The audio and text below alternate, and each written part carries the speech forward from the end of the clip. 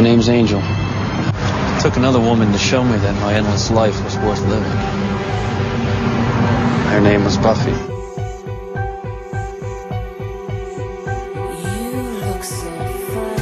I'm not saying it was an easy relationship.